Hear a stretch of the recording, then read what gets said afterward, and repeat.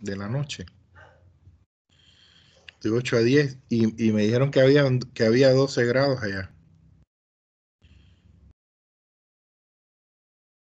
Eran 8 y pico y me dijeron que había 12 grados. A ver ahora cómo está.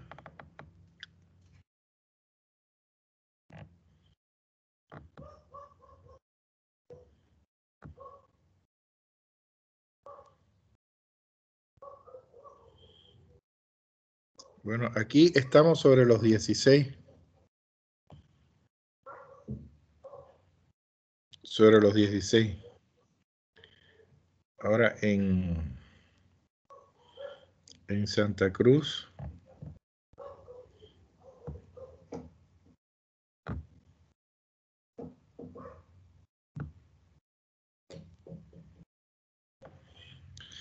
Según dice aquí, sobre los 13. 13 grados. ¿Será así?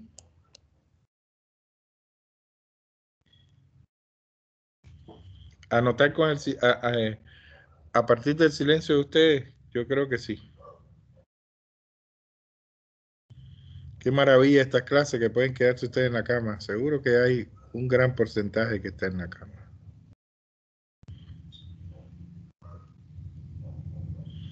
Espero que eso no les impida participar en la clase de hoy, que es importante.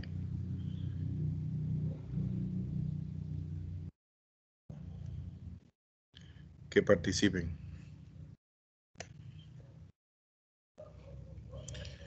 Bueno.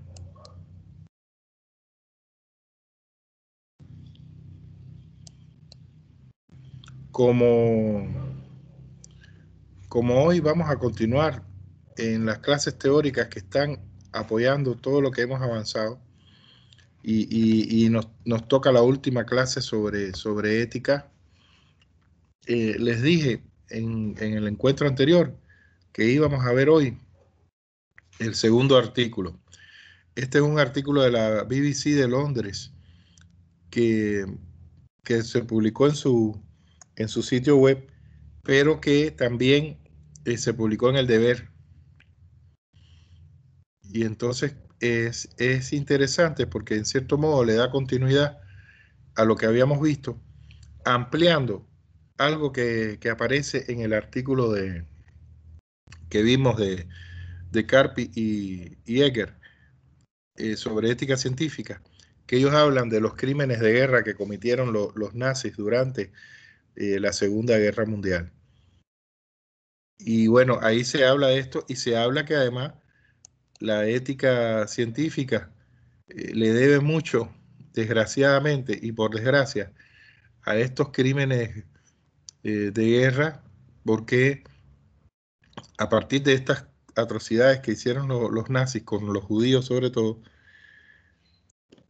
pues entonces eh, surgió el famoso código de Nuremberg, que tiene estas regulaciones que nosotros hemos ya visto a partir de los estándares éticos. Con respecto a todo el proceso o los procedimientos de la investigación y también con respecto y sobre todo a los derechos de los individuos que participan en determinados experimentos científicos, sobre todo los seres humanos, individuos y, animales, ¿no? O sea, animales y personas. Entonces, bueno, eh, con este preámbulo vamos a, a entrar Quiero antes entrar un momento a la plataforma. Quiero entrar un momento a la plataforma para que veamos dónde está.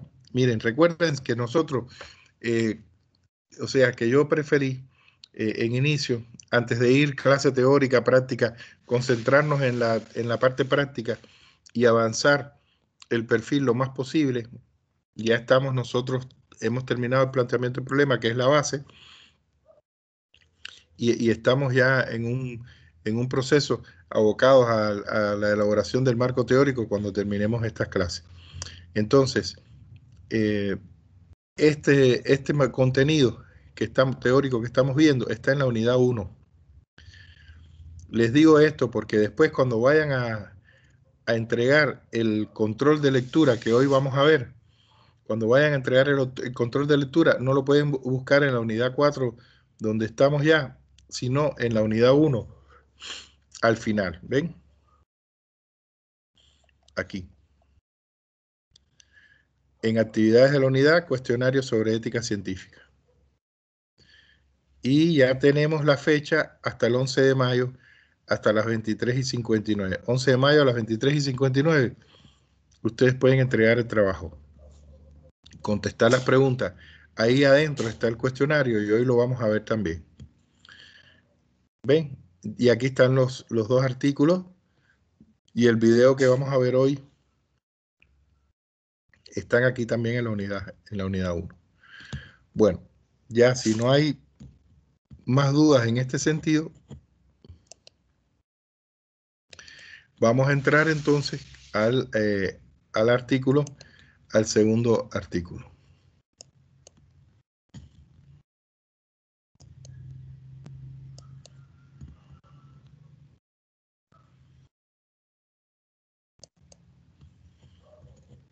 Este es el,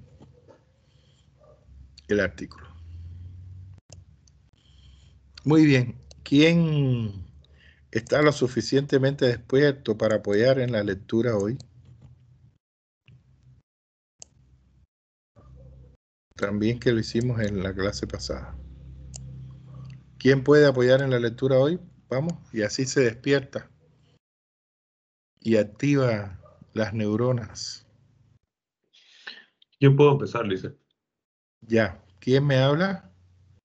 Edgar, Lisa.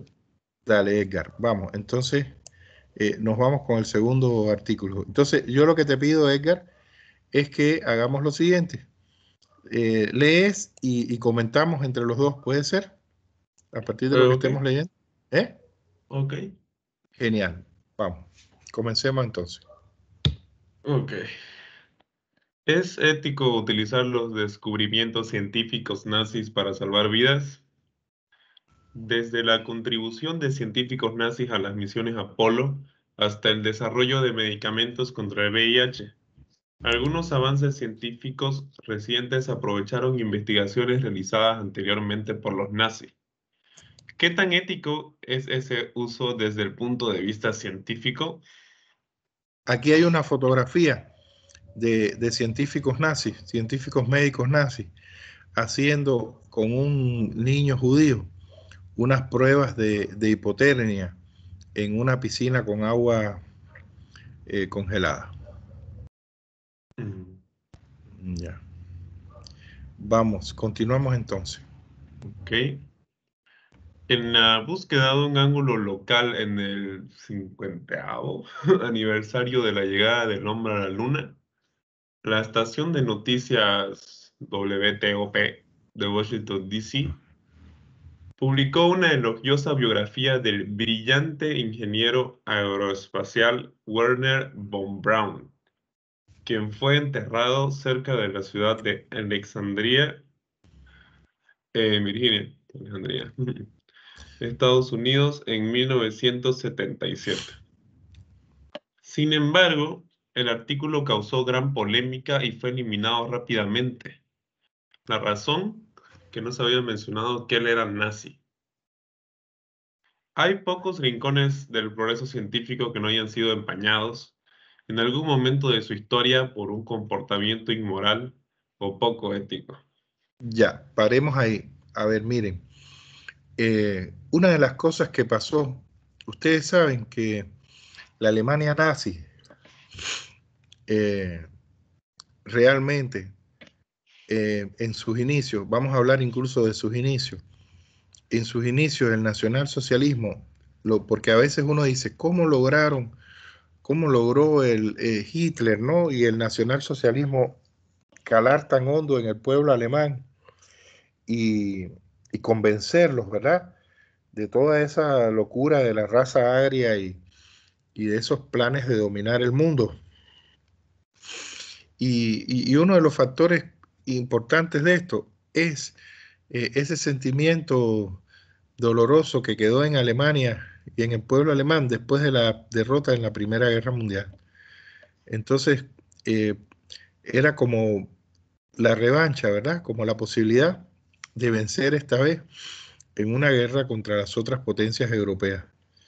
Eh, eso estaba ahí, pero también el, el nacionalsocialismo desarrolló en sus inicios una campaña muy demagógica en la cual, como todos los nacionalismos, eh, hablaba de, los grandes beneficios que iba a tener el pueblo alemán, beneficios económicos, de calidad de vida y demás, que iba a tener el pueblo alemán si, si ellos triunfaban y, dominaban y gobernaban el país.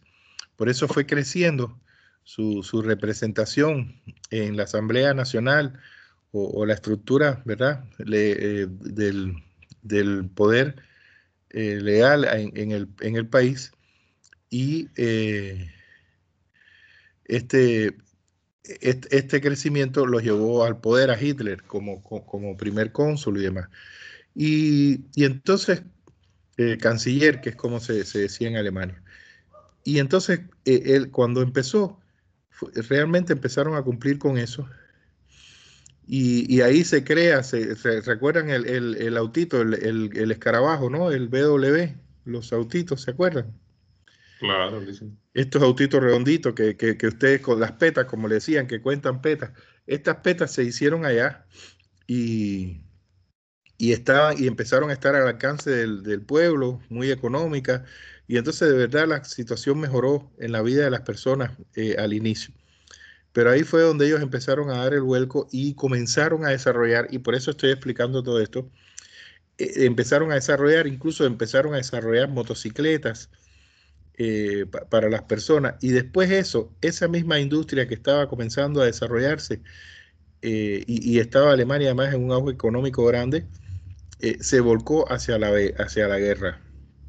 Y empezaron entonces a convertir esos autitos que antes eran para, para el pueblo, en, ya en esos otros autos, eh, pero para, para un todoterreno en la, en la guerra, ¿no? Por eso ustedes ven en las películas que hay unas especies de, de BW de estos autos, pero que ya eh, tienen un, estilo de jeep, ¿no? De auto de, para moverse en, las carreteras en la, en la guerra.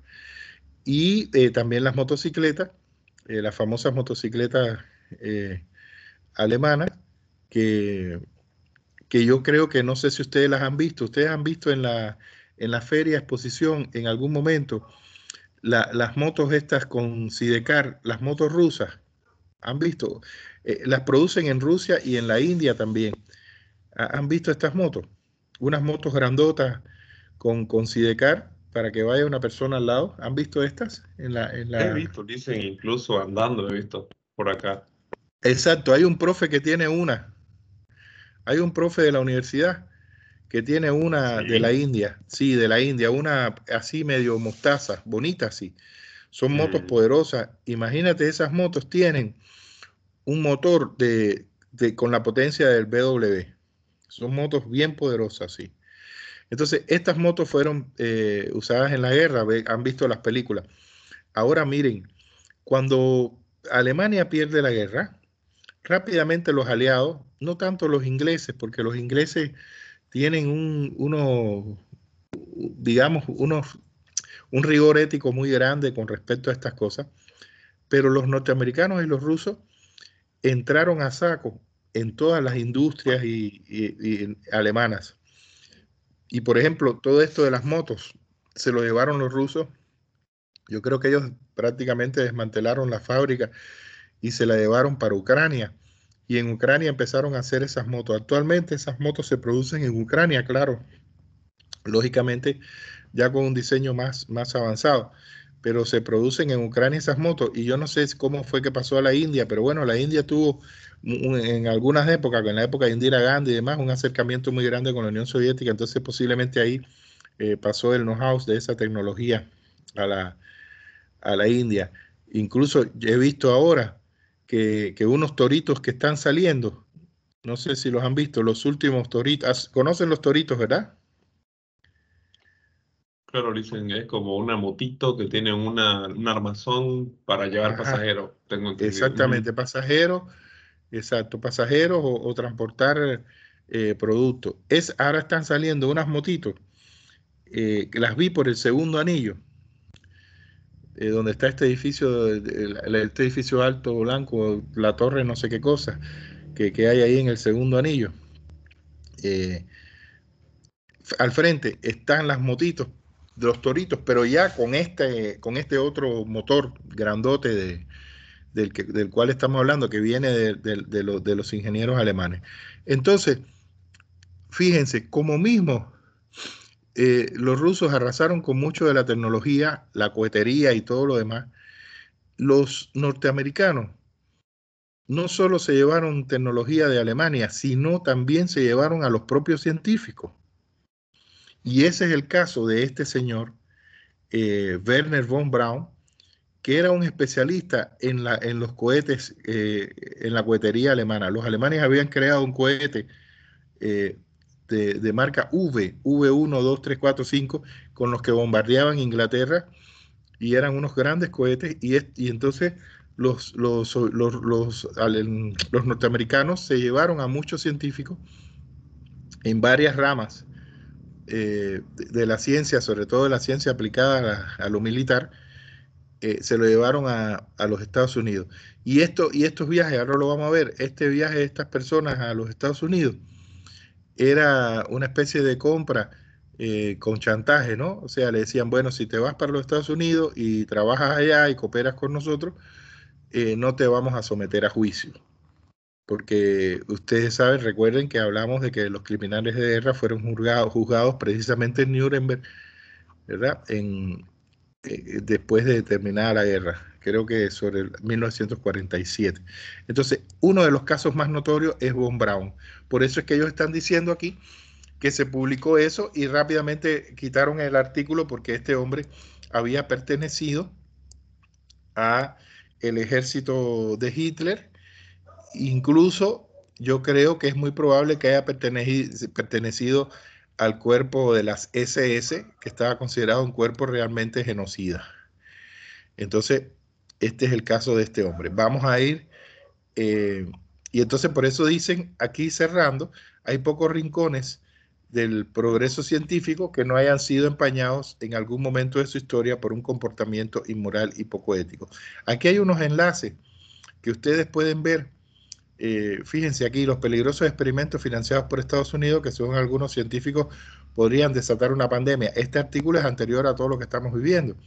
Pueden seguir estos enlaces porque este, este eh, texto está en la plataforma y también yo lo voy a enviar hoy al WhatsApp y, informarse mucho más de lo que de lo que estamos conversando hoy aquí. Entonces, hay pocos rincones del progreso científico que no hayan sido empañados en algún momento de su historia por un comportamiento inmoral y poco ético. Entonces seguimos, Edgar, aquí está, miren la foto.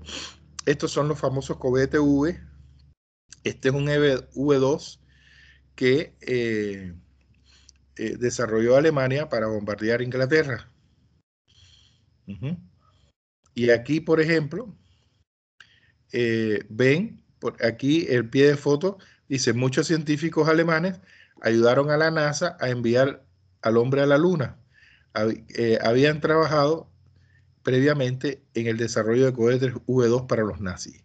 Y es que cuando empieza la carrera espacial, recuerden que en el año 57 los rusos eh, lanzan el primer satélite, el, Sputnik, por eso es que la vacuna le han puesto Sputnik, porque fue la primera que salió. Eh, entonces, ellos lanzan el, Sputnik y, ahí los norteamericanos comienzan también a desarrollar su, carrera espacial. Y, fue una competencia entre los dos países hasta eh, la eh, eh, que hipotéticamente fue ganada por los Estados Unidos cuando logran enviar hombres a la Luna.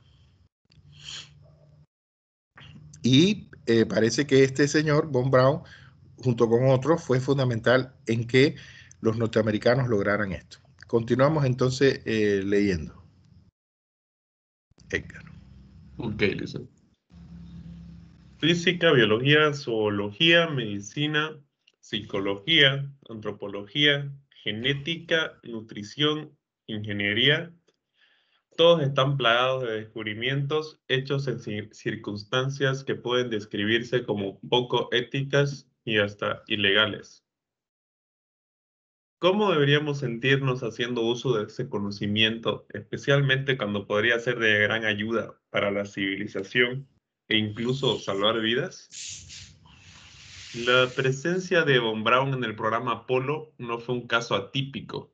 Más de 120 científicos e ingenieros alemanes se unieron a él, incluido su compañero de las SS, el oficial Kurt Debus quien se convirtió en director del Centro de Operaciones de Lanzamiento de la NASA, y Bernhard Tessmann, diseñador del colosal edificio para el ensamblado vertical de vehículos espaciales en lo que actualmente es el Centro Espacial Kennedy.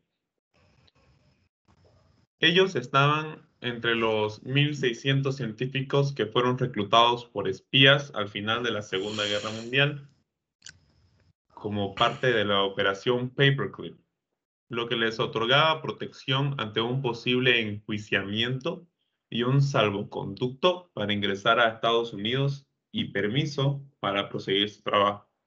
Bien, te das cuenta, se dan cuenta lo que estamos, ¿no? Lo que estamos diciendo, cómo eh, ya, eh, fíjense, estamos hablando de 1600, no son poquititos, para que se den cuenta cómo eh, hubo un proceder poco ético de, las potencias que ganaron, sobre todo, eh, bueno, eh, el botín de guerra siempre ha existido.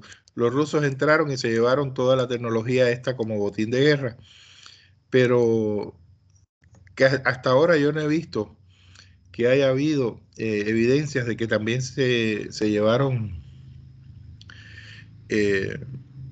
científicos pero los norteamericanos sí lo hicieron. Y lo hicieron de una forma realmente poco ética. Se los llevaron para que pudieran seguir trabajando en Alemania y, dándoles protección ante eh, un juicio posible, ¿no? O sea, voy a ver, no vas a ser juzgado si si te vas a trabajar con nosotros. Y este es el caso de los que trabajaron en la carrera espacial.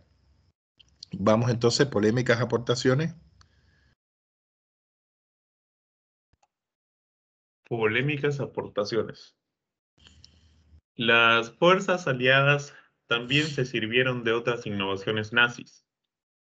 Agentes neurotóxicos como tabún y sarín, que impulsarían el desarrollo de nuevos insecticidas, así como armas de destrucción masiva. La cloroquina, antipalúdica, la metadona y las metanfetaminas la investigación médica sobre hipotermia, hipoxia, deshidratación y más fueron todos producidos a partir de experimentos con humanos realizados en campos de concentración. Fíjense que este gasarín eh, ha sido producido en gran escala con los, por los rusos. Por eso hace, hace incluso hace un, hace un tiempo un antiguo agente ruso fue muerto eh, asesinado en Inglaterra eh, con su hija con un compuesto de, esto, de, este, de este gas. Y, los rusos manejan esto. Pero también ha habido, recuerden ustedes, han, habido ataques terroristas con, con gas ¿no? No sé si, si recuerdan esto. Entonces, bueno, eh, ahí está todo el asunto, ¿no? Eh, los, nazis estaban realizando estos experimentos y entonces las potencias vencedoras se llevaron toda esta información y continuaron desarrollando estas investigaciones. Sobre todo cuando estamos hablando de que eh, los descubrimientos y toda la investigación se produjo a partir de experimentos con humanos eh, prisioneros en los campos de concentración. Fíjense ahora que más allá de esto que estamos hablando arriba, que es un poco tétrico, vamos a ver esto. A ver, los tableros de aglomerados, seguimos. Los tableros de aglomerados, algunas formas de caucho sintético y el refresco Fanta también fueron desarrollados por los alemanes bajo el régimen nazi. Miren aquí, qué interesante. ¿Quién sabía que la Fanta se creó en Alemania durante... Ni idea, ¿verdad? ¿Viste eso? Y déjenme decirle que ese es el video que vamos a ver para ver cómo fue este proceso. Pero además, quiero decirles que Coca-Cola estuvo eh, en cierto modo vinculada a la creación de la Fanta en Alemania. Así que miren eso, ¿qué les parece? Coca-Cola norteamericana en plena guerra y, ahí se creó eh, el refresco Fanta. Claro, no, no, lo crearon los norteamericanos, lo creó un, un alemán que era el jefe de la Coca-Cola en Alemania. No, no, lo crearon los, los, norteamericanos, pero sí se beneficiaron con eso. Ya vamos a ver el, el, video, qué interesante, y lo vamos a analizar desde un punto de vista ético, a ver qué piensan ustedes, si fue ético eh, la actitud de Coca-Cola o no lo fue. Pero también hay muchos casos, he estado hablando aquí, he estado hablando aquí con un, con un amigo eh, que está aquí en, en, casa y estuvimos hablando del tema. Y, y también eh, Hugo Boss, ¿no? el famoso modisto, eh, diseñó vestuario, ropa, uniformes para, para los nazis, ¿no? para, para Hitler. Y, se habla también... SS igual dicen, ¿no? Principalmente. exactamente, exactamente. Y, y, se habla de que, de que IBM, también me está diciendo él, tengo que buscar esta, esta información, a ver si la puedo encontrar para la clase que viene, eh, pero bueno, quiero encontrarla así con algún video. Y se habla también que IBM eh, aportó a los nazis eh, tecnología para llevar la contabilidad de prisioneros y demás. Esas cosas las vamos a, estas dos cosas vamos a buscarla, a ver qué más aparece. Pero tenemos lo de la Fanta que lo vamos a ver hoy. Entonces, bueno, aquí está todos los tableros de aglomerados que hoy casi todos usan y que además los, los suecos, ¿no? Con IKEA eh, han desarrollado a grandes niveles pero aquí hay bastante producción de aglomerados, ¿no? Han visto eso, en la carretera norte hay eh, bastantes fábricas de esto. Y, hay productos con aglomerados muchísimo en, la feria de, la ramada, ¿no? De los muebles. Hay bastante eh, tableros, eh, productos con tableros de aglomerado. Bueno, terminamos este parrafito que está aquí abajo. Edgar, pero esto pero esto estaba lejos de ser un caso excepcional de investigación poco ética en la historia de la ciencia. Este que aparece aquí es von Braun, Werner von Braun. Y, aparece aquí en una foto con, imágenes de la luna, ¿ven? Detrás, unas fotografías de, las lunas, de la luna. Ya. Ahora, vamos a otro tema ya de investigaciones científicas, este, este, junto con los juicios de Nuremberg, fue uno de los casos bien sonados de, de, de, investigación poco ética, sobre todo a partir de, los derechos de, las personas que participan en la, en la, investigación que vimos en la clase pasada. Y, y, un experimento que se extendió durante 14, 40 años, no fueron pocos. Vamos entonces a leer sobre el investigadores de la Universidad de Tuskegee en, en Alabama. Listo, leemos.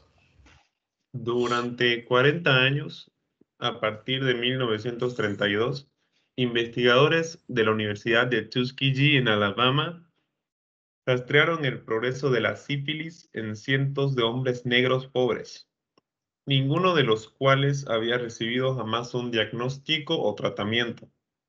Pese a que el antibiótico de la penicilina que podría curar la enfermedad estaba ya disponible en aquel momento.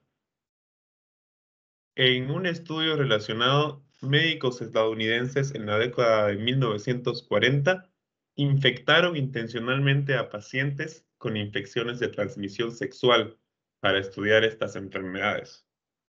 Conscientes del escándalo que esto podría provocar, los experimentos se realizaron en Guatemala.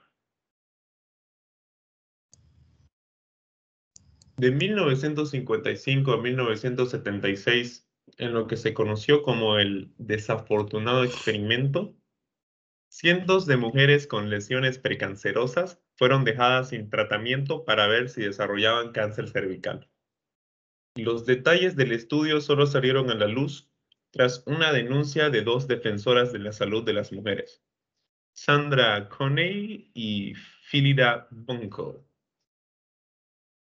El estudio que se desarrolló en Nueva Zelanda quería comprobar unas teorías sobre la importancia de la intervención temprana, pero una pesquisa posterior sobre esta investigación realizada por la jueza Sylvia Cartwright criticó el tratamiento de los pacientes por parte de los médicos que llevaron a cabo el estudio. La vacuna contra la polio, además de muchos otros avances médicos, debe su existencia a las células humanas que fueron tomadas de Henrietta Lacks, sin contar con su conocimiento o consentimiento. Esta es la, señora Henrietta Lacks.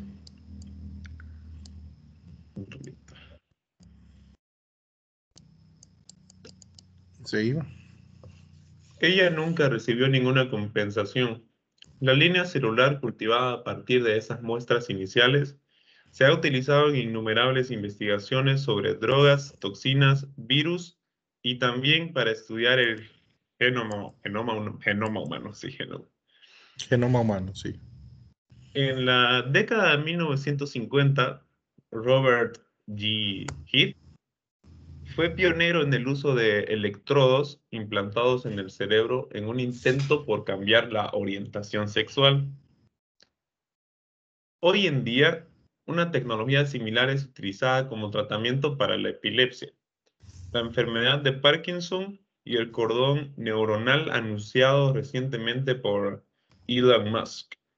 Fíjense que esto de, cambiar eh, la orientación sexual, ustedes saben que, en esta época de los 50 eh, eh, la, homofobia era muy fuerte y sobre todo en Estados Unidos.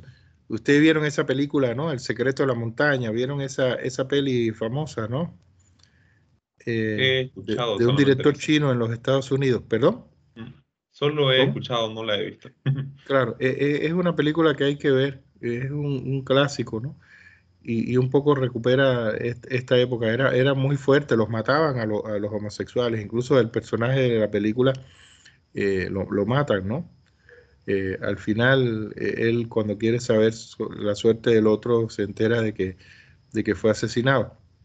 Entonces eh, los padres llevaban a los hijos y, entonces le aplicaban estos electrodos para tratar de, conducirlos por el buen camino, ¿no? Y de cambiar porque se tenía visto, pensado incluso que, la, homosexualidad era una, una, enfermedad y demás, ¿no? O sea, grave, ¿no? Eh, el asunto con, con esto. Todo lo que eh, la historia de la medicina con respecto a, la psiquiatría en, los inicios, ¿no? antes de Freud y demás, era realmente terrible. Eh, caer en un, hospital psiquiátrico en, los siglos anteriores a la segunda mitad del siglo XIX y en el siglo XIX, siglo XVIII era realmente terrible y, por cualquier cosa ibas a parar ahí, por cualquier otra enfermedad, epilepsia y, demás, eh, ibas a parar ahí. Y, en, épocas más antiguas se consideraba que la posesión diabólica era peor todavía. Entonces, eh, realmente fue terrible cómo fueron los tratamientos, pero claro, lógicamente la ética científica estaba muy poco desarrollada en aquel, en aquel momento. Entonces, eh, fíjense cómo esto que fue eh, en, cierto modo un tratamiento de una gran crueldad en su momento, en los 50, hoy es utilizada como tratamiento para algunas enfermedades. Bien, perfecto. Entonces, vamos a este otro epígrafe, dilema ético.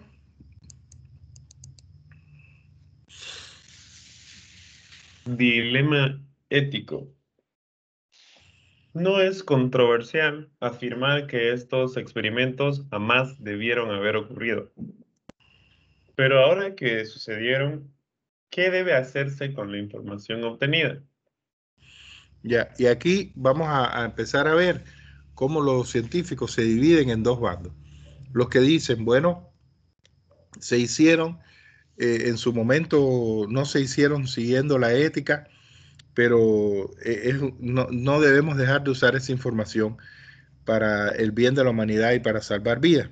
Y hay otros científicos que dicen que no, que como esa, ese proceso se hizo o esos descubrimientos se hicieron en, con, un, con, un, con procedimientos no éticos, no debe usarse esa información. E, están divididos los científicos en ese sentido. Y a partir de aquí ustedes tienen que crear su, su opinión sobre el tema. ¿Qué, piensan? ¿Que sí que debe usarse o que no debe usarse? Bueno, vamos entonces, continuamos. La intuición elemental es que si una información fue obtenida de manera poco ética y nosotros usamos esa información, entonces nos convertimos en cómplices de esa acción pasada, dice Dom Wilkinson, especialista en ética médica de la Universidad de Oxford. Esta es una visión bastante común, incluso entre aquellos que hacen uso de tales hallazgos. En la revista de bioética de Hastings Center Report, en 1984, Christine Moe relata una conversación que mantuvo con John Hayward, un destacado experto en hipotermia de la Universidad de Victoria en Canadá, que utilizó datos nazis en sus estudios. ¿Ven? Este hombre, al, contrario de lo que dice Wilkinson, él considera que sí, que hay que usarlo eh, y, y, los ha usado. Y él es un especialista en hipotermia. Aquí está otra vez la foto de los experimentos. Ahora fíjense lo que dice él. No quiero tener que usar esta información, pero no existe otra, ni la habrá en un mundo ético, dijo. Lo he justificado un poco, pero no usarlo sería igualmente malo. Pero la experiencia de Hayward fue inusual. Yo creo que es importante decir que estos hallazgos rara vez proveen información clave de manera aislada, dice Wilkinson. En su mayor parte, la información científica es como una pieza de un rompecabezas. Encaja en un rompecabezas general. Las contribuciones de Werner von Braun al programa espacial Apolo pueden haber sido considerables, pero es imposible saber si la NASA podría o no haber resuelto el problema de cómo aterrizar en la Luna sin su ayuda y el conocimiento que obtuvo mientras trabajaba en el programa de cohetes V2 de los nazis. Claro, es lo que plantean. Bueno, a ver, eh, este tipo fue un, miembro del partido nazi y fue además eh, miembro, al parecer, por lo que dicen ahí, de las SS, que es un cuerpo que sus principales jefes que fueron capturados fueron condenados a muerte eh, en el juicio de Nuremberg y otros juicios posteriores. Entonces, eh, bueno, si no se usa, los, perdón, los norteamericanos podrían haber eh, desarrollado la tecnología necesaria para eh, poner hombres en el espacio, cohetes en el espacio y haber llegado a la Luna, se podrían haberlo logrado o no podrían haberlo logrado. Bueno, eso no, no, no podría decirse, es lo que, lo que se plantea. Seguimos entonces, otra vez se habla del, experimento de Tuskegee, que ya lo vimos, ¿no? En, la, en, el, en el primer artículo. Mientras tanto, los resultados del llamado desafortunado experimento y el de Tuskegee no modificaron drásticamente nuestra comprensión de la sífilis o el cáncer ni sus hallazgos fueron tan imprescindibles. O sea, e, ellos plantean aquí que no era realmente necesario ni, fueron tan importantes los avances que se hicieron a partir de esas prácticas poco, poco éticas. No hay muchos otros estudios observacionales que vean qué sucede si no se da tratamiento al cáncer de cuello uterino, comenta Wilkinson. Pero incluso si dijiste que no usamos esta parte de la ciencia, no tendríamos una comprensión diferente del cáncer de cuello uterino. Puede resultar tentador. Ah, disculpe, Lisa. no, no, no, tranquilo. Tranquilo, sí. Puede resultar tentador pensar que las prácticas médicas poco éticas son cosa del pasado, que la medicina moderna reñida con la inmoralidad fue un incidente aberrante a mediados del siglo XX y que a medida que avanzamos el trabajo realizado entonces pasará a ser irrelevante desde el punto de vista científico. Claro. O sea, es como decir, bueno, eso ya pasó, estas cosas pasaron en el siglo XX y, y no pasan en la actualidad, pero ahora vamos a ver determinados casos que son contemporáneos, ¿verdad? Aquí es una foto de, la vacunación de la polio, ¿no? Por, por estas gotitas. Y recuerden que la, polio, bueno, se creó a partir de eh, los recursos, ¿verdad? Eh, orgánicos de esta señora a la que nunca se le, se le pidió permiso ni se le dio compensación ninguna. Todos fuimos ¿no? vacunados así contra la polio. Cuando niños. Vamos entonces. De ahora en adelante, podríamos decirnos a nosotros mismos que toda nuestra recopilación de datos será legítima y nuestros descubrimientos serán éticamente sólidos. Pero lamentablemente ese no es el caso. A semejanza de los estudios de sífilis realizados en Guatemala, muchos ensayos clínicos se llevan a cabo en la actualidad en países en desarrollo, por las mismas discutibles razones. Las regulaciones son más laxas y se reduce el riesgo de sufrir daños de reputación por cualquier resultado negativo. Claro, me voy, nos vamos, se van los investigadores a los países del tercer mundo, donde no hay muchas regulaciones y se, y se les va a permitir hacer la investigación y donde el caso de cualquier fracaso, eh, no, el impacto no va a ser tan grande eh, en la prensa y demás, ¿no? Ahora eh, continuamos. Un informe. Un informe de 2008 publicado por el Centro de Investigación sobre Corporaciones Multinacionales dio a conocer detalles de muchos de estos ensayos poco éticos, llevados a cabo en India, Nigeria, Rusia, Argentina y Nepal, entre otros. Este reporte reveló las muertes no registradas de 14 mujeres en Uganda durante un ensayo de levirapina, un medicamento contra la transmisión del VIH. También hizo público que ocho pacientes en la ciudad de Hyderabad creo, en India, murieron durante un ensayo del fármaco anticoagulante streptokinasa y ninguno de ellos sabía que formaba parte de dicho experimento. Grave, realmente grave. Y eso no pasó en el siglo pasado. Seguimos. mal ejemplo. La necesidad de hacer algo bueno con los datos incluso si estos fueron obtenidos de forma poco ética, conlleva sus propios problemas.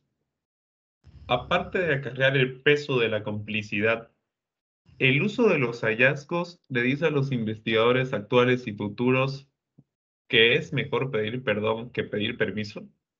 Claro, o sea, bueno, eh, si, si se van a usar estos datos que fueron obtenidos de forma poco ética, pues entonces creamos un, precedente, ¿no? Que podemos no, no, consultar a las personas y después, bueno, se pide perdón porque no se consultó. Y se va haciendo, eh, digamos, una, costumbre. Ese es uno de los peligros que, que Wilkinson plantea, ¿no? Que puede ocurrir si se es tan flexible con respecto a la cuestión ética y, los experimentos y el uso de personas. Seguimos. Hay algo muy particular sobre el conocimiento y es que es irreversible. No se puede desconocer algo, dice Wilkinson. Claro, desgraciadamente existen las, las, investigaciones estas poco éticas, están los resultados, eh, se conocen en la comunidad científica y no se puede eh, hacer una investigación como que desconociendo esto y como si eso, ese, ese avance no existiera, ¿no? Es una locura hacer eso. Terrible, pero, pero es así la realidad. Imagínense que hagan una investigación sobre hipotermia y, no se tenga en cuenta estos estudios que se hicieron en el año cuarenta y tanto por, por los alemanes, ¿no? Y que empecemos de cero. Complicado porque ya existe y ya están los resultados. Incluso ese otro científico los usó para avanzar en las investigaciones. No se puede desconocer que existen las cosas, desgraciadamente. Pero entonces está el dilema ético de si es ético usarlo o no. Eh, ¿Seguimos? Una de las preocupaciones de utilizar los datos es que manifiesta la postura de que esta investigación estuvo bien y alienta a futuros investigadores. La historia me juzgará positivamente. No queremos hacer eso, no queremos promover la investigación poco ética. Claro, él lo que plantea es que si se es flexible con todo esto, pues entonces en cierto modo se va a promover la investigación poco ética y los investigadores van a ser capaces de decir cosas como esa, ¿no? Bueno, eh, no lo he estado haciendo ético, pero bueno, la historia me va a, juzgar positivamente. Y aquí hay dos eh, eh, enlaces a partir de una noticia que hubo, que parece que fue cierto, de un científico chino que hizo modificaciones genéticas en un bebé cuando eso está eh, prohibido, ¿no? Eh, actualmente en la, en la ciencia médica y, científica, en las investigaciones científicas.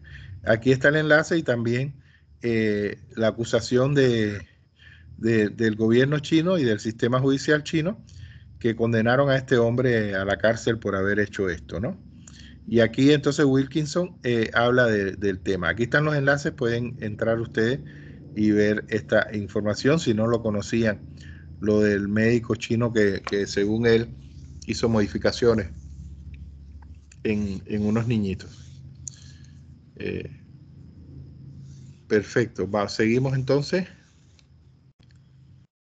Wilkinson destaca el caso reciente del investigador chino que anunció en 2018 que había creado los primeros bebés a partir de genes editados. Es un ejemplo que realmente sorprende. Parece que estaba motivado por la fama particular asociada con ser el primero, señala Wilkinson. La Comisión de Salud de China comparte este, ese punto de vista. Su indagación sobre la investigación concluyó que el científico llevó a cabo ilegalmente la investigación en busca de la fama y la ganancia personal. Aquí está la foto del hombre. Mm. He Jiankyu. Este, este, y además él lo, no solo lo hizo, sino que lo divulgó, ¿no? Lo, y de ahí fue que, que, entonces se le siguió. Por eso se recuerdan ustedes que decía en el, decía en el artículo primero que leímos sobre ética científica, que a veces los, eh, digamos, a veces una contravención ética eh, se paga con eh, sanciones dentro de la comunidad académica, ¿verdad?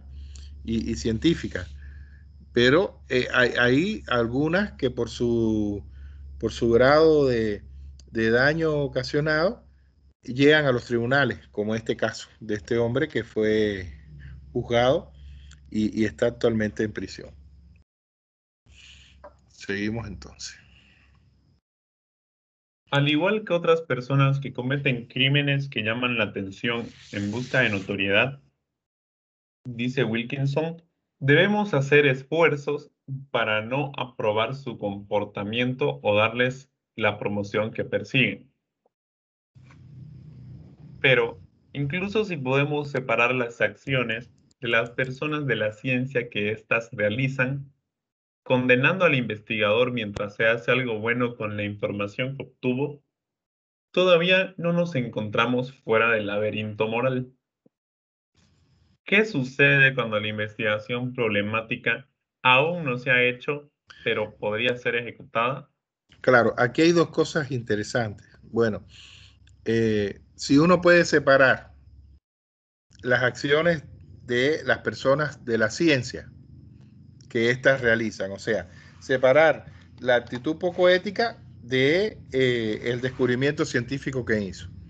Y entonces decimos, bueno, el hombre actuó mal, eh, vamos incluso a tomar medidas con él, pero vamos a usar eh, el descubrimiento que hizo. Hay una actitud ahí que no es ética para nada, ¿verdad? ¿Por qué? Porque estamos planteando usar los resultados de la investigación cuando estamos a la vez condenando al hombre por lo que hizo. Entonces, es, ahí una contradicción ética tremenda, el de querer juzgarlo y querer tomar medidas con él porque eh, obtuvo y, desarrolló procesos que no eran éticos y sin embargo queremos usar los resultados. Pero también está lo segundo, que es lo que eh, aparece aquí, que qué sucede cuando la investigación problemática aún no se han hecho pero podría ser ejecutada. Es como hablamos, la clonación humana, ¿verdad? Las modificaciones genéticas en, bebés todavía dentro del útero o en la propia célula. O sea, ¿qué sucede cuando eh, estamos hablando de cosas que no se han hecho, pero que podrían, que podrían hacerse? Y entonces vamos allá a ver qué, se dice. Y que ya, además, eh, existe el caso y, vamos a ver ahora eh, este, otro, este otro ejemplo. Ese es el dilema que plantea una polémica colección de muestras de sangre de más de 3 millones de escoceses que está actualmente en la Junta de Salud del NHS Greater Glasgow and Clyde. Las muestras fueron recogidas como parte de una prueba rutinaria de pinchazo en el talón, realizada a todos los recién nacidos para verificar una serie de condiciones genéticas. Pero de 1965 a 2003 nunca se solicitó el permiso de los padres para almacenar las muestras de sangre lo que significa que toda la base de datos es legalmente cuestionable. Ya, a ver, ¿de qué trata esto? Eh, se recogían unas muestras de sangre cuando los niños nacían en, los hospitales con esta prueba de pinchazo del talón y esas muestras se guardaban. Al final eh, están hablando, fíjense, ¿de cuánto están hablando? Tres millones de escoceses, ¿no? Hay muestras de sangre de 3 millones de escoceses. Esa es una información realmente invaluable para investigaciones científicas y para conocer eh, lo que tiene que ver con la genética de las personas en Escocia. Y eh, desgraciadamente del 65, de 1965 al 2003, se hicieron las pruebas pero sin pedir permiso a los padres. Y entonces eh, todas las que se hicieron antes del 2003 están cuestionadas por, por haber sido obtenidas con procedimientos poco éticos. Y ahí es donde está la, disyuntiva. Bueno, a ver, no, se hicieron con ética, pero se puede usar. ¿Se puede o no se puede usar esa, esa información que está ahí eh, guardada? Vamos a ver qué dice.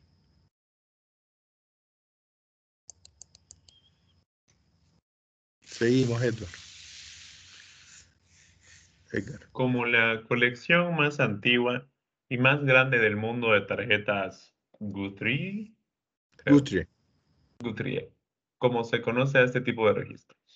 La base de datos ofrece una visión extraordinariamente amplia de la genética de la nación, por lo que representa un recurso único para los investigadores médicos. Pero debido a los problemas relacionados con cómo fueron recopilados, actualmente existe una moratoria para llevar a cabo investigaciones utilizando las tarjetas. Claro, o sea, actualmente no se pueden usar, precisamente porque fueron, fueron obtenidos sin seguir los procedimientos éticos. ¿Seguimos? Este tipo de situaciones no son directamente éticas o poco éticas. Implican preocupaciones éticas contrapuestas, todas las cuales deben tenerse en cuenta. Afirma Anne Wilkinson. Wilkinson. Encargada del programa en el Consejo de Bioética de Newfield, quien ha escrito sobre las tarjetas Guthrie de Escocia. Claro, por eso es que dice que implican preocupaciones éticas contrapuestas. O sea, quienes dicen que bien, fue usado, fue eh, obtenido de forma no ética, pero hay que usarlo. Y los que dicen, fue obtenido de forma no ética, no hay que usarlo. Están contrapuestos ahí. Por eso les decía que los científicos están divididos, ¿verdad? En, caso de muchos de estos eh, resultados que se obtuvieron en procesos científicos eh, que no estaban marcados por la ética. Seguimos entonces. La recolección sin autorización de los resultados del pinchazo en el talón plantea serios dilemas éticos a los investigadores. Ella considera que, puede obtenerse, que pueden obtenerse importantes beneficios sociales mediante el uso de la base de datos. Pero esto no superaría simplemente las preocupaciones sobre el consentimiento, la privacidad, los riesgos para, para las personas asociadas con el uso de su información personal y el respeto de las opiniones de las personas sobre su uso. Apunta. Las autoridades sanitarias de Escocia participan ahora en consultas con investigadores, especialistas en ética, pacientes y ciudadanos sobre lo que debe hacerse con las tarjetas Guthrie. Claro, están ellos debatiendo eh, actualmente eso y, en Escocia el debate continúa. Vamos para allá. Una opción es permitir salirse a quienes se oponen a ser parte de cualquier investigación realizada con las tarjetas. Pero no es una tarea fácil demostrar que se ha buscado adecuadamente el permiso de 3 millones de personas de forma retroactiva. Claro, y tenemos 3 millones de personas. Eh, hay que ir hacia atrás y, volver a pedir permiso, imagínense usted. Mm. Dificilísimo, porque están hablando del año 65, un año después de, mi nacimiento, yo nací en el 64. Entonces, eh, estamos hablando realmente de que muchas de esas personas bueno, los padres ya deben estar muertos o, casi. claro, deben estar ya ser muy ancianitos. Y, bueno, habría que pedir permiso a las propias personas, ¿no? Que, tendrían eh, alrededor de 50 años en, estos momentos. Seguimos. Es propio de la naturaleza humana tratar de sacar algo bueno de las situaciones malas incluso en los guetos de Varsovia, señala Moe. Los médicos judíos hicieron notas meticulosas sobre la salud de sus compañeros residentes, datos que fueron contrabandeados y después publicados como un estudio sin precedentes sobre los efectos de la inanición sobre la salud. Claro, eh, en el gueto de, de Varsovia, los alemanes encerraron, incluso con, hicieron un muro alrededor, encerraron a los judíos. Y los judíos tenían pocas posibilidades de, sobrevivir ahí, porque no tenían alimentos y demás. Y entonces los propios médicos judíos hicieron notas, o sea, dieron seguimiento a qué pasaba con el cuerpo humano y la salud eh, a partir de la supresión de los alimentos, ¿no? Por eso hablan efectos de la inanición sobre la salud. Y los judíos, bueno, les cuento que los judíos después fueron sacados de ahí a campos de concentración y casi todos los judíos polacos murieron en, esta, en esta terrible situación en medio de la guerra. Eh, continuamos. La decisión de utilizar los datos no debe hacerse sin lamentar o sin reconocer el horror incomprensible que los produjo. Asegura la investigación, las aseguras sobre la investigación nazi. Claro. O sea que en caso de que se use, no es así usarlo nomás, sino que hay que eh, plantear todas las disculpas y reconocer eh, lo, terrible de cómo fueron obtenidos estos, estos, esta, esta información. Seguimos entonces. No podemos dar ninguna aprobación implícita a los métodos. Sin embargo, tampoco debemos dejar que la inhumanidad de tales experimentos nos ciegue ante la posibilidad de que algo bueno puede ser rescatado de las cenizas. Ya, y ese es el final del artículo. Eh, bueno, el artículo propone al final que, que hay que usarlo, que hay que usar esa información. Eh, no sé qué, plantean, qué piensan ustedes, eh, pero bueno, los científicos están, como ya vimos, divididos en, sobre todo en dos bandos, los que dicen que no y los que dicen que sí. ¿Qué te, qué te parece a ti, Edgar, esta historia? ¿Cómo tú lo ves? Eh, dicen yo creo que sí deberían llevarse, deberían utilizarse porque si bien, como mencionan, fueron realizados en, bajo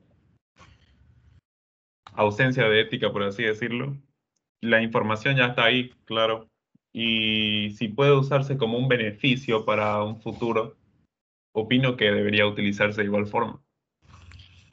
No sé, pienso. Sí, yo, yo, yo pienso también lo mismo. Eh, habría que hacerlo, como dice ahí, ¿no? Sin, en primer lugar, hay que reconocer todo cómo fue obtenido y todo eso y, y pedir las disculpas correspondientes y después, bueno, usar la información que, corresponda, porque imagínate, ahí también decía, uno de los entrevistados decía que, que investigaciones sobre hipotermia ya, ya no se van a poder hacer, porque imagínate, eh, las normas actuales de la ética científica no permiten que, aunque alguien acepte que tú lo sometas a, a bajas temperaturas en el agua, ¿no? O, o al aire libre en, situación precaria de, vestuario o algo de eso, ¿no? Poner a alguien desnudo al aire libre ahí para ver cómo reacciona, como hicieron los nazis, eso lo pudieron hacer ellos con, con, prisioneros, ¿no? Que, que, morían prácticamente todos los que participaron en esto murieron. Ahora ya no podrías hacerlo. Entonces, ni se va a poder hacer ya. Por eso decía, en un mundo ético es, imposible que esto se haga. Entonces, eh, ¿se va a usar o no se va a usar esa información? Y la posición que parece al final eh, quedar como propuesta de este artículo es que se use, pero eh, digamos reconociendo eh, cómo fue que esto se, realizó y, generando ¿no? las disculpas necesarias con respecto al tema. Entonces, aparte de lo que pensamos Edgar y yo, ¿quién, qué otra persona de las que está en sintonía eh, quisiera participar con su, visión, puede tener una visión opuesta, no hay ningún problema. Eh, ¿qué, ¿Qué piensan? A ver si hay alguien, además de tú y yo, Edgar, aquí. Aunque tenemos hipotéticamente 23 personas conectados, ¿no? Yo creo que sí, Lice. A ver, que no estamos tú y yo y todo el mundo está dormido con, la conexión ahí. A ver, ¿alguien? A ver, Nayeli, Pablo Andrés, Saraí, Sebastián, Joeli, Marcelo, María Fernanda. ¿Me lees qué? E, es que piensas, no, no leer, sino qué piensas de, de esto, de lo que hemos leído. Yo igual vi, eh, aportando un poco, ¿no? Eh, descubrimientos de que estaban haciendo en Rusia en ese tiempo de los nazis. Creo que eran la cabeza de un perro.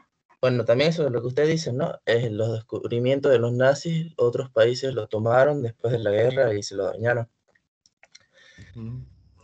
Pero bueno, también aparte de experimentos con personas, ellos, por ejemplo, había unos videos en internet donde creo que le cortaban la cabeza a unos perros y los conectaban a, a válvulas, una de sangre y otra de oxígeno, y los hacían volver a la vida. Sí, súper eh, escalofriante. Me imagino. ¿Y, estaban vivas? ¿Las cabezas siguieron vivas? Las revivían. Qué horror. Díganme usted. Bueno, imagínense usted. Eh, yo creo que sí, que hay, debe haber por ahí eh, experimentos así tétricos, ¿no? Y es lo que estamos hablando de, que en, las normas éticas está eh, lo que tiene que ver con los derechos de los animales, ¿no? Entonces, eso yo creo que, atenta contra los derechos de vida ¿no? de, los animales, porque ya eso, suponiendo que, que, termine el experimento, ya es, eso no va a quedarse conectado ahí, ni va a seguir viviendo ese, ese, ese animal que ha sido separado de su cuerpo, imagínense. Terrible, sí. Yo no podría ver una cosa así. Qué grave. Bueno, entonces ya, tenemos claro, o sea, lo importante es que nosotros tengamos claro lo importante de una actitud ética y, cómo eh, nosotros debemos mantener una actitud ética en todo momento. Porque en cualquier momento nos podemos estar eh, viendo envueltos en algo así. No esto de las cabezas, sino eh, con respecto a tratamientos y demás. Y, se nos puede pedir nuestra opinión y se nos puede pedir nuestro consentimiento para algún tipo de, de, experimento o de estudio que pueda ser realizado en nosotros mismos y también en familiares. Eso es, bastante común. Entonces ya tenemos una información que nos permita comprender esto y, tomar la decisión correcta en caso de que nos veamos en algún momento involucrados en un, en un proceso de estudio médico o demás. Muy bien, sí. Eh, ¿No es que estaban hablando igual sobre las alteraciones genéticas en los bebés? Creo que hoy en día ah. ya hay eso. Tal vez no lo alteran tan raro, pero me refiero a que ya si quieres que tu bebé salga con ojos azules, con, o sea, blanco, y vos no sos una persona así, creo que ya se puede. Yo escuché una vez. Y Yo eso fue creo... hace, dos años que lo escuché. Sí. ya podía. Yo creo que, que, todavía no. O sea, yo creo que, que ya se puede que ya, está, ya estaría la ciencia lista para hacerlo, pero eh, no, no se puede todavía, no está autorizado todavía. A lo mejor alguien lo hace de forma clandestina, ¿no? Pero lo que yo tengo entendido es que no se puede todavía. Eh, hay unos libros que, que, yo les recomiendo de Yuval Noah Harari, este doctor israelí, son unos libros nuevos eh, y estos libros, eh, él habla de eso. Él habla de que uno de los grandes peligros de la, humanidad, él habla de, tres. Eh, uno es otra vez, a partir de la carrera armamentista de, Rusia y Estados Unidos, el peligro nuclear otra vez, ¿no? De la, guerra nuclear.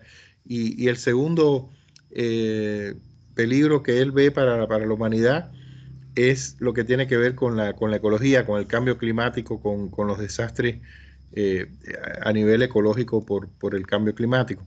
Y el tercero que él ve es precisamente este, el de eh, la manipulación genética a partir de la bioingeniería.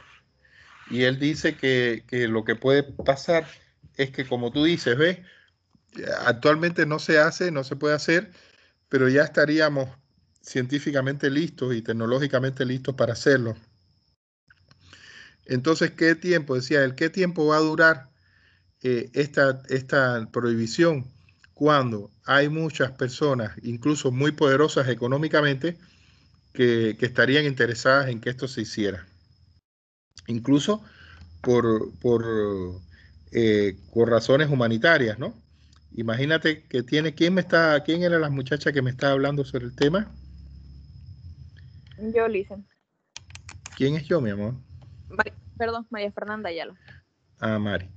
María, Fernanda. Ya, imagínate que, tú tienes dos padres, no tú, ¿no? O sea, que hay dos padres eh, que tienen una herencia eh, eh, ligada al sexo, que son estas enfermedades que, crónicas que se transmiten a partir de la información genética y que si tienen hijos, tienen una alta probabilidad de que, por ejemplo, la, niña o el niño salgan hemofílicos o tengan algún tipo de, estas enfermedades que, están ligadas al sexo. Entonces, a, lo, genético, ¿verdad? Entonces, eh, sería justo darles la posibilidad de que se pueda hacer determinados cambios para que el niño no salga con esa enfermedad. No tanto pensar en que si sale más blanco, más negro y con los ojos rojos o verdes o amarillos, ¿no? Sino pensar en eh, que pueda tener una vida libre de enfermedad. Entonces, él dice que esto eh, no sabe qué tiempo más va a durar la prohibición con respecto a todo esto, porque siempre hemos visto eh, en la historia de la humanidad y de la ciencia de que al principio hay determinadas investigaciones, procedimientos que están prohibidos y que después ya pasa el tiempo y eso se, aprueba, ¿no? Entonces, eh, ahí está el asunto.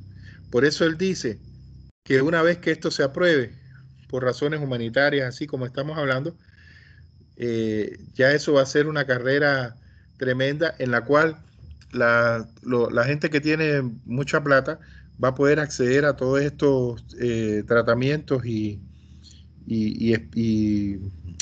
cambios genéticos que al final, según él, va a haber, eh, va a desaparecer el Homo sapiens, o por lo menos va a haber una raza de humanos mejorada. Fíjense ahí donde está el problema. Una raza de humanos mejorada que coinciden además con las personas que más recursos económicos tienen. Entonces, por lo tanto, ahí estamos ante un tremendo cambio en la, en la sociedad como la conocemos hoy, en el sentido de los conceptos ¿no? modernos de igualdad, de fraternidad y todas esas cosas. Si tenemos una raza de humanos mejorada y esa raza de humanos mejorada también es la raza que tiene el poder económico, ¿qué ustedes creen que pueda pasar? Entonces, eh, interesante, estos libros yo los, los, recomiendo, son libros que hay que, que leer es clave que, los leamos. Yo les voy a mostrar, eh, tengo el librero aquí detrás porque estoy dentro de la casa, porque no hay quien esté afuera, ¿no? Con el, con el frío. Yo creo que ha bajado más la temperatura, estoy sintiendo como que, ha bajado más. Y les voy a mostrar estos libros. Yo puedo pasarle los enlaces, porque yo los tengo en el, en el, en el Drive, los tengo y de ahí lo pueden bajar si les interesa leerlos. Yo, les, yo recomiendo que se lean. Recomiendo que se lean. Estos son eh, los dos primeros libros. Los dos primeros libros de, de Noah Harari. Perdón que se me enredó esto. Los dos primeros libros de Yuval Noah Harari. Yo no sé si les había, les había hablado de estos libros yo. No que yo recuerde. Ya. Eh, yo puedo pasarle los, los, enlaces hoy para que lo, lo bajen. Aquí está, ¿ves? Este es su primer libro. Déjenme quitarla, porque tengo aquí la aplicación de efectos.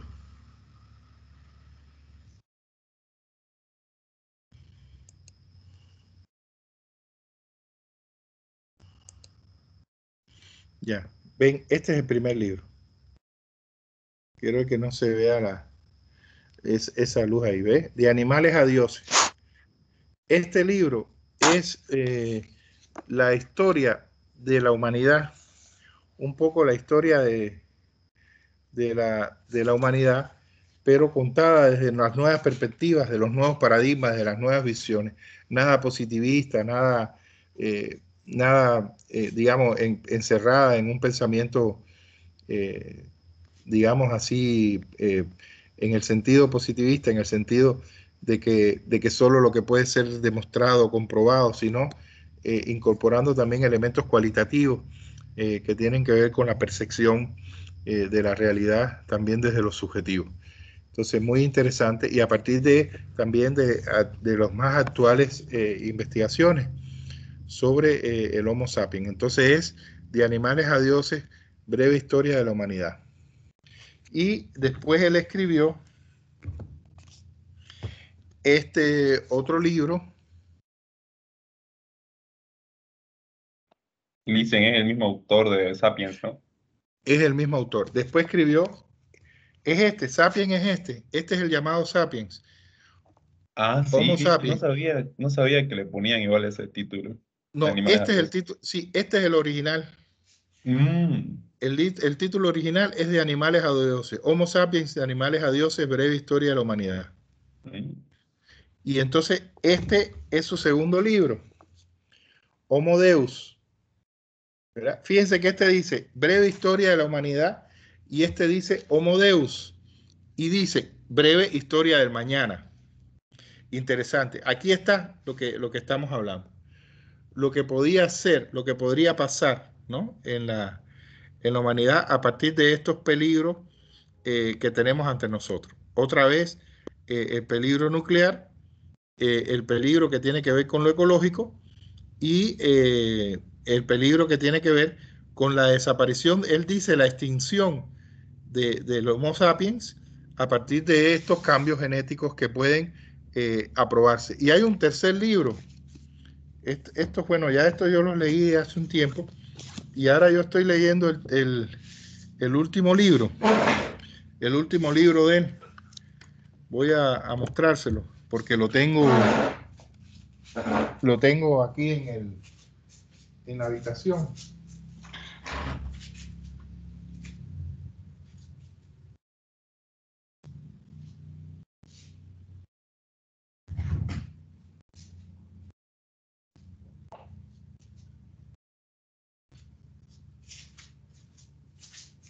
Porque lo estoy, lo estoy leyendo en, esto, en estos momentos. ¿Qué es este? Que tiene en el fondo blanco, no sé si se ve. Eh, no, no se puede leer. ¿Se ve el título? Es la del 21 lecciones para 2021, creo, algo así dicen. Perdón, ¿se ve el título? Eh, un poco, pero lo ubico. Se llama 21 lecciones, 21 lecciones para el siglo XXI. 21 lecciones. Este es él, este es Yuval Noah Harari. 21 lecciones para el siglo XXI. A ver si aquí se ve mejor. No, igual, ¿no? Igual no se ve. Eh, a, ver, a ver si, si apagando esta luz Ahí se ve, ¿verdad? Sí, ahora sí se ve. ahora sí se ve. 21 lecciones para el, para el siglo XXI. Incluso yo les voy a mostrar, vamos a entrar un momentito. Son los tres, ¿ves? Los tres libros. Realmente yo recomiendo leerlos.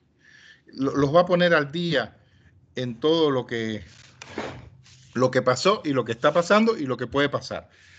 Realmente yo lo, lo recomiendo mucho en la Seoane. ¿Saben dónde están los libros de la Seoane, verdad? Ahí al lado del, del, Hospital del Niño. ¿Mm? ¿Conocen? Sí, dicen, igual se puede en la mutualista, creo que ahí hay todo. Claro, pero tengan cuidado porque a veces hay versiones reducidas, ¿no? fíjense que son, son libros eh, más o menos gruesitos, ¿no? ¿Ven? Hay que tener cuidado con eso.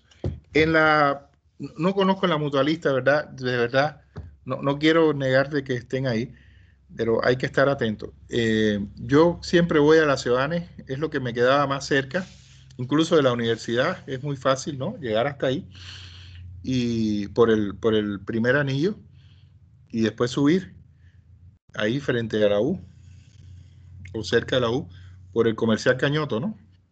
Se sube. Entonces, eh, les decía que ahí en la Cebanes eh, los tres libros cuestan 150 bolivianos, a 50 bolivianos cada uno. Eh, en librerías, los libros, estos libros cuestan 150 bolivianos cada libro. O sea, que estamos hablando realmente de, de un, ahorro bastante grande. Si, entramos un momentito, tenemos tiempo todavía eh, para ver el video, pero quiero, vamos a entrar a la plataforma para yo mostrarles los enlaces que les voy a enviar, los enlaces que les voy a enviar a, al grupo de WhatsApp. No se los voy a poner en la plataforma, se los voy a enviar al grupo de WhatsApp para que ustedes los descarguen en digital, porque yo, los tengo en, digital. Quien quiera tenerlos, los puede, los puede tener. Aquí estamos en la plataforma, bueno, del grupo nuestro. Vamos a ir a la plataforma de, investigación 2, de mi grupo de investigación 2, y ahí eh, vamos a ver.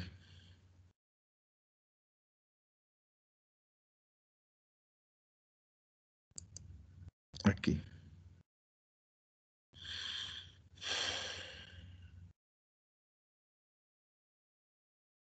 Ya. Eh. Este es el B.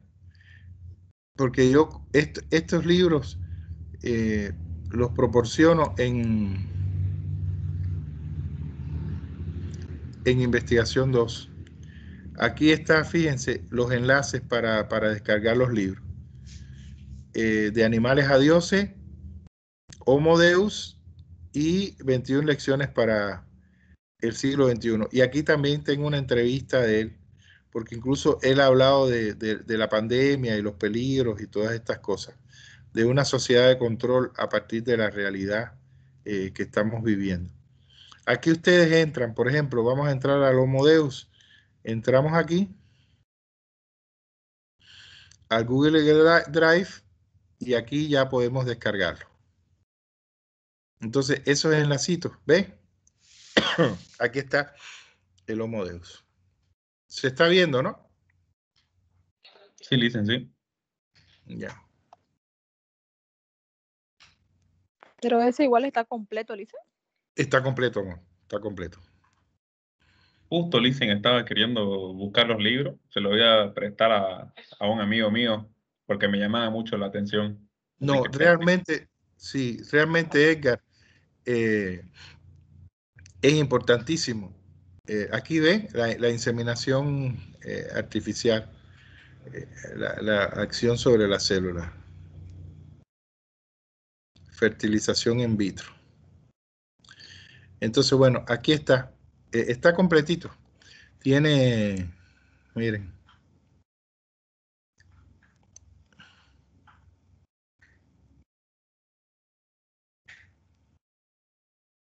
Aquí termina con las notas.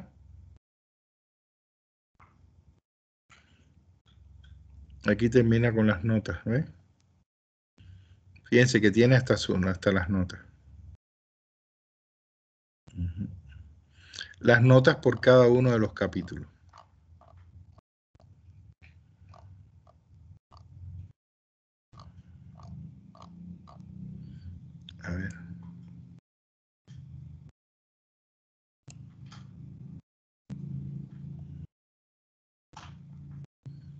O sea, si, fíjense si está completo que tiene eh, hasta las notas que aparecen al final.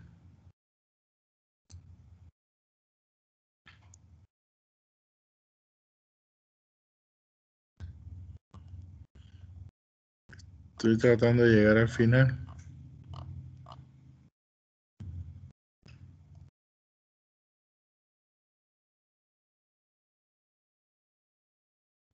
Al final del libro. A ver esta cuál es. El antropoceno. Eh, estar por aquí, entonces. Aquí está, ¿eh? Ya. El océano de la conciencia. Lo que está un poquitito que sin espacio aquí, ¿no? En los lados. Pero tiene toda la información, incluso las ilustraciones y todo, ¿ves?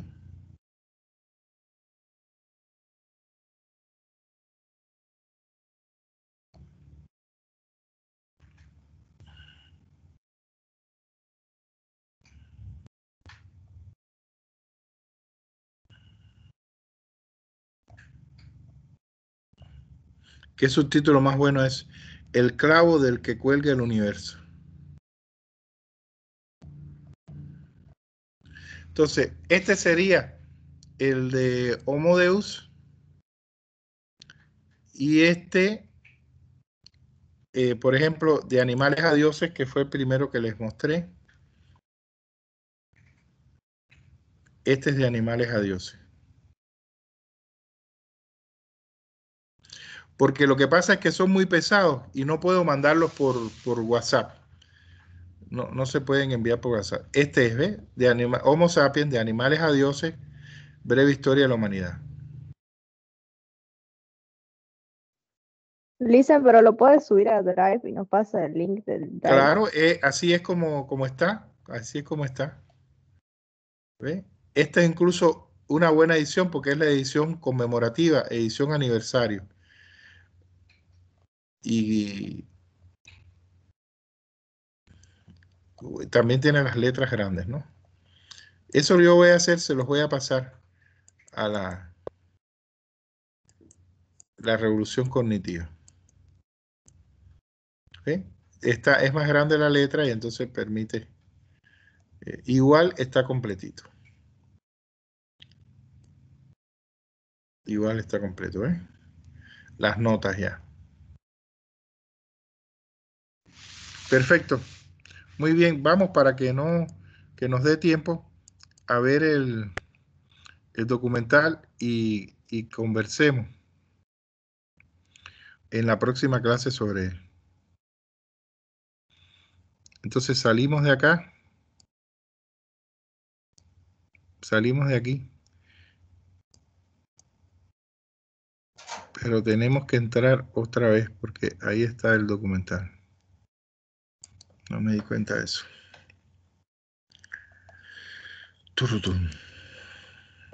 Dura 15 minutos el documental. Y es lo que estamos hablando, la, cuestión de la Fanta.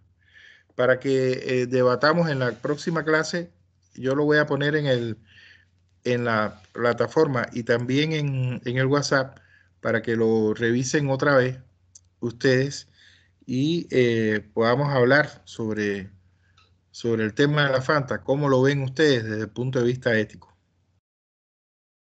Estamos aquí. Vamos a primero abrirlo para después activar el audio.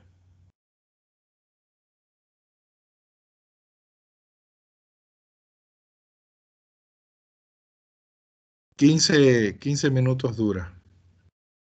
Lo voy a cerrar porque tenemos que, activar el audio.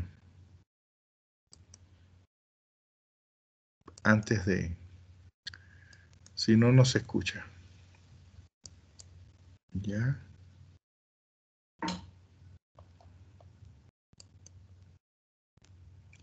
Eh, confírmenme que se escucha, por favor.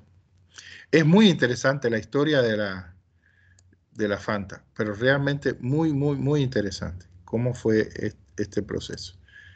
Eh, rectifíquenme que se me escucha, lo voy a poner un momentito y después... ¿Se escuchó? Sí, sí, se escucha. Genial. Voy a apagar mi audio y, la cámara. Estoy aquí mientras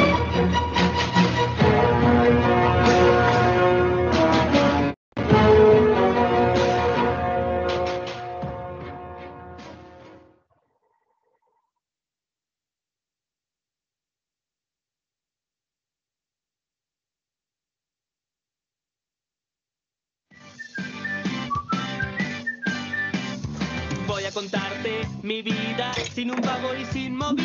Si la casa invita, yo me apunto y no me pierdo ni un. Fanta es para muchos el refresco de naranja definitivo.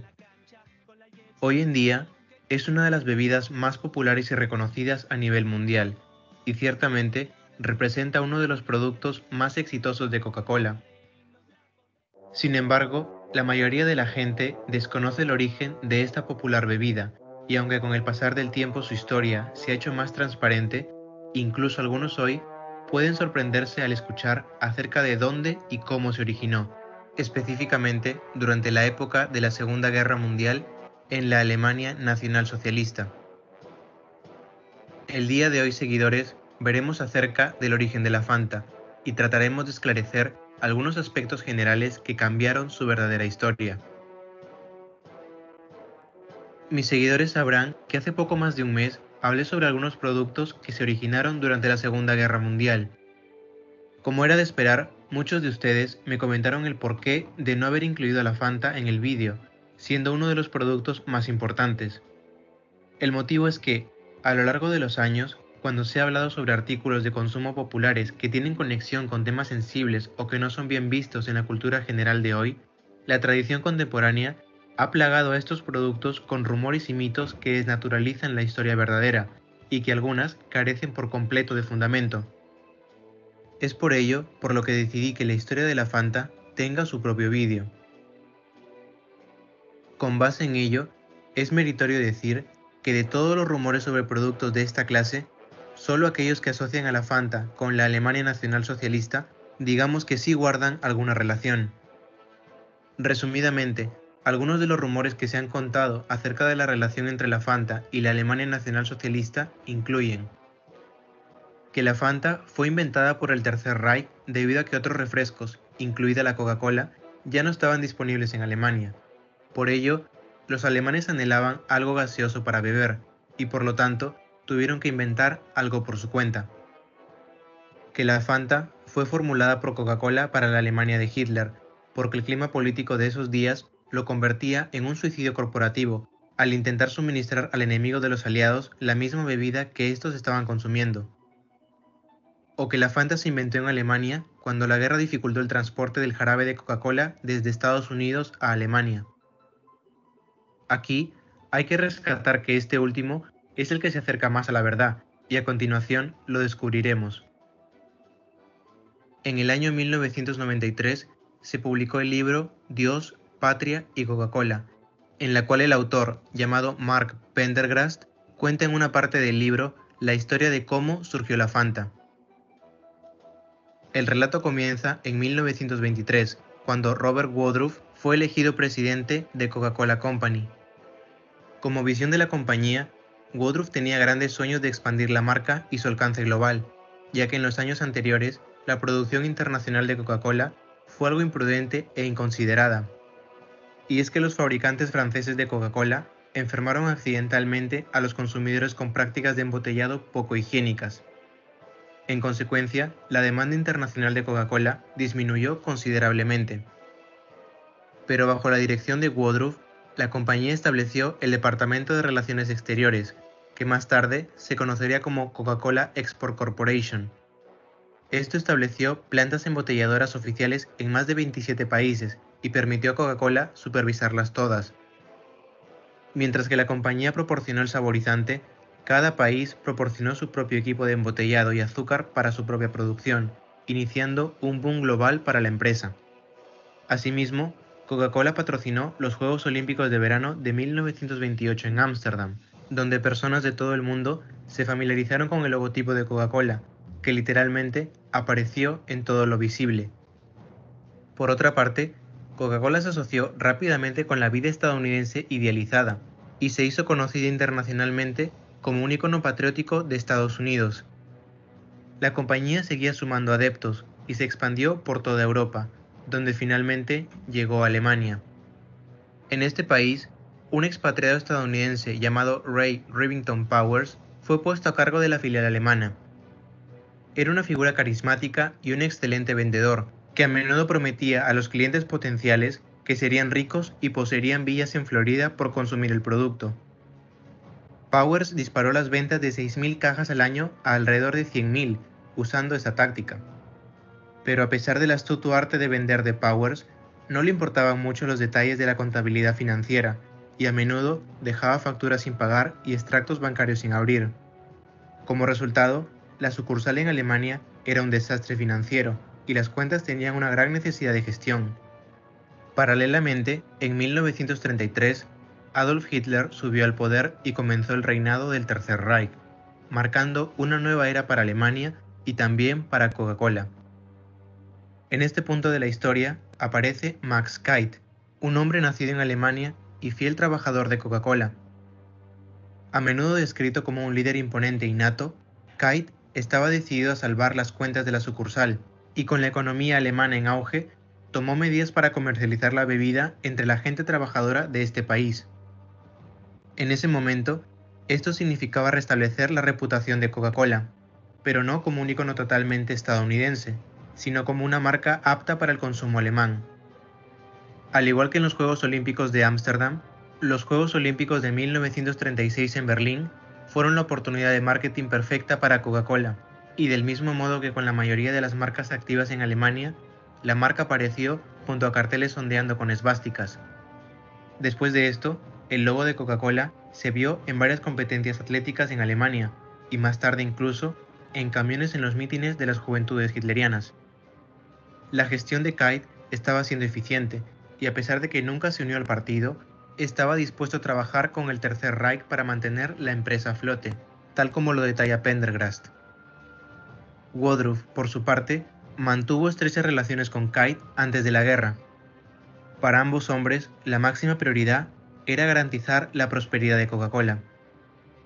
Pero una vez iniciada la guerra, se incrementaron las tensiones económicas, ya que el gobierno alemán comenzó a limitar a las empresas extranjeras. Tras la invasión a Polonia en 1939, Kite temió que el gobierno alemán también se apoderara de su negocio de propiedad estadounidense.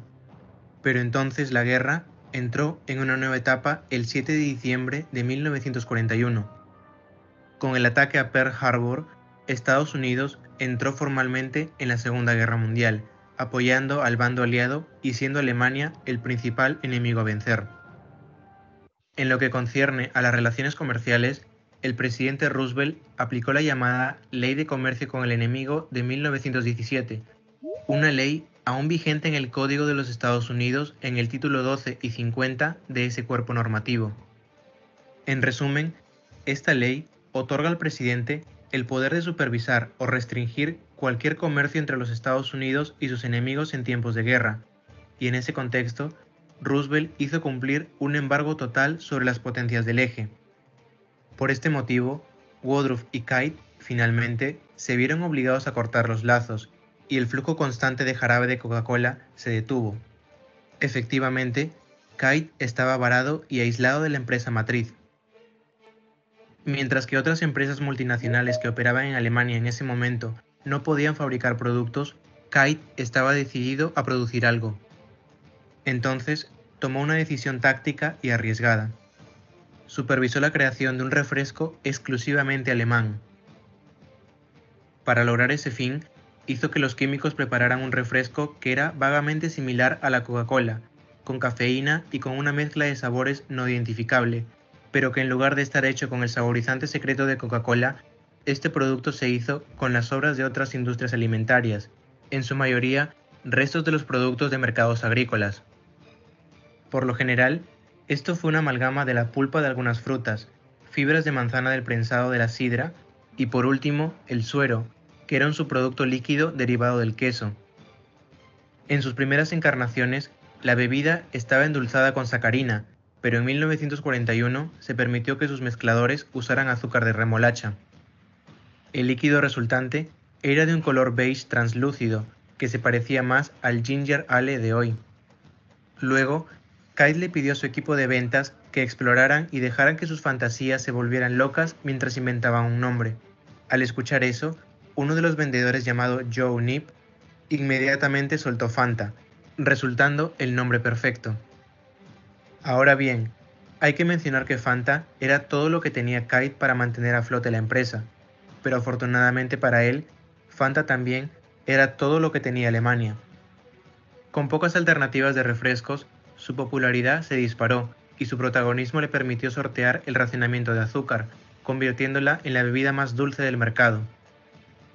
Esto lo hizo cada vez más popular, tanto así que en 1943 se vendieron 3 millones de cajas de Fanta, aunque no todas fueron compradas para beberse, ya que algunas se usaron para condimentar sopas y guisos. Las ventas aumentaron gradualmente a medida que se convirtió en un elemento básico del hogar. Luego, Kite usó su conexión con el Tercer Reich para ganar posición en la supervisión de todas las plantas de Coca-Cola en Alemania y en los territorios que conquistó, permitiéndole difundir Fanta por toda Europa y evitar el cierre de otras filiales. Hasta el final de la guerra, los ejecutivos de Coca-Cola en Atlanta no sabían si Kite trabajaba para la empresa o para los nacionalsocialistas, porque la comunicación con él era imposible. Dejando a un lado sus recelos, en sí, Kite estaba salvaguardando los intereses de Coca-Cola durante ese periodo de no contacto. Fue gracias, en gran parte, a sus esfuerzos que Coca-Cola pudo restablecer la producción en Alemania inmediatamente después de la Segunda Guerra Mundial. Según un informe realizado por un investigador encargado por Coca-Cola para examinar las acciones de Max Kite durante ese periodo sin supervisión, Kite nunca había sido un partidario del régimen, a pesar de que había sido presionado repetidamente para convertirse en uno, y de hecho, había soportado dificultades debido a su negativa. También podría haber hecho una fortuna embotellando y vendiendo Fanta bajo su propio nombre, pero en cambio, al tener que trabajar para el gobierno alemán, mantuvo en funcionamiento las plantas de Coca-Cola en Alemania y mantuvo vivos a varios hombres de Coca-Cola durante toda la guerra. Al final del conflicto, dio la bienvenida a la compañía de Coca-Cola de vuelta a sus operaciones en Alemania y entregó todas las ganancias producidas durante los años de la guerra. Entonces, ¿dónde deja todo esto la pregunta de quién o qué inventó la Fanta y por qué? La verdad es simple, pero aún así quisiera resumirla. La Fanta fue la creación de un hombre de Coca-Cola nacido en Alemania, que estaba actuando sin ninguna dirección emitida desde la sede central en Atlanta, Estados Unidos. Este hombre no era un nacionalsocialista, ni inventó la bebida bajo la dirección del Tercer Reich. Más bien, en un esfuerzo por preservar los activos de la compañía y proteger a su gente manteniendo las plantas locales en funcionamiento, formuló un nuevo refresco cuando se hizo imposible producir el producto estrella de la compañía. Durante el periodo de la posguerra, la bebida evolucionó gradualmente, a partir de su cambio de marca, llamándose Fanta Orange o Fanta Naranja, que se introdujo en Italia en 1955. Esta nueva bebida era de un vibrante color naranja y se producía con ingredientes cítricos locales, en lugar de los restos de sobras de la idea original. En efecto, cuando hablamos de Fanta hoy, nos referimos a la soda de naranja más popular del mundo, y no a la bebida original de suero y jugo de manzana. Del mismo modo, la Fanta sigue siendo un producto de Coca-Cola y hoy viene en 70 sabores diferentes, aunque solo algunos están disponibles en cada uno de los casi 200 países en los que se vende. Además, para Coca-Cola, la Fanta siguió siendo un producto rentable, al tiempo que trató de distanciarse de las relaciones que alguna vez tuvo con el Tercer Reich. Bueno, al menos en su mayor parte, ya que Coca-Cola lanzó este anuncio para celebrar el 75 aniversario de Fanta en el 2015 este comercial no tardó en viralizarse en las redes. La empresa se enfrentó a una reacción crítica por su aparente referencia a la Alemania de la Segunda Guerra Mundial, cuando el narrador comentó en un punto del anuncio al origen de la Fanta como esos buenos viejos tiempos. Como respuesta, Coca-Cola quitó el vídeo y emitió una disculpa formal.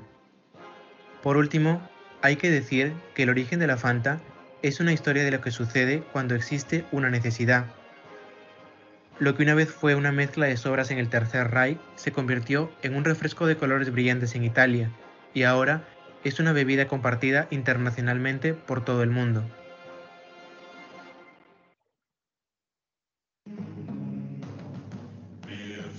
Esto ha sido